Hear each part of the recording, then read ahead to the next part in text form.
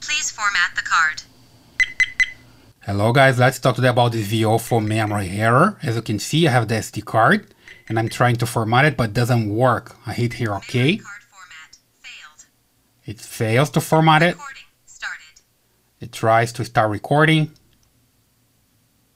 Memory card error. Please format the card. Let me try again. Memory card format failed. Recording started. So it keeps like this over and over and over. Memory card error. Please format the card. So there's no no another way you need to stop recording and replace the card. Okay, that's the idea. Let me just hit here no and stop recording. Recording started. Memory card error. Please format the card.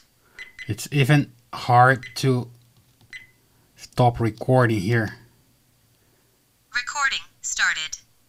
Okay, I just press here to turn off the camera. Here we go.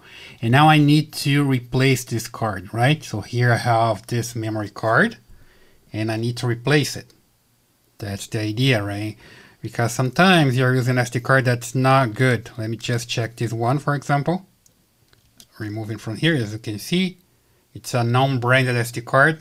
Not good. You need to use a recommended SD card from VIOFO. There's a VIOFO SD card. There's SanDisk SD card, right?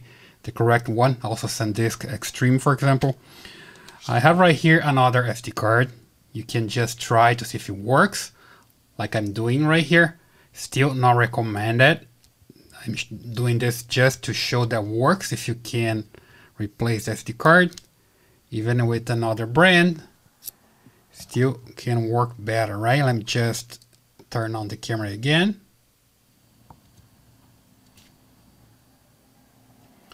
Just wait for it. It's just a demonstration, okay guys? Recording started.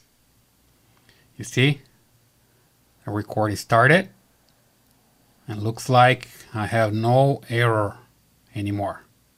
So it's basically working, okay? You can even go here to the menu.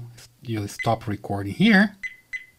Then you press this other button to go to the menu and you go down until you find the format card.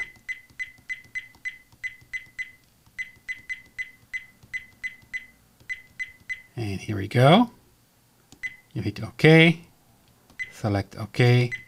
Memory card format successful. And now it's working. Okay, I can format the SD card. No memory error anymore, right? Come back here to the main menu and I'm ready to go. It's recording started. and it's working. Okay.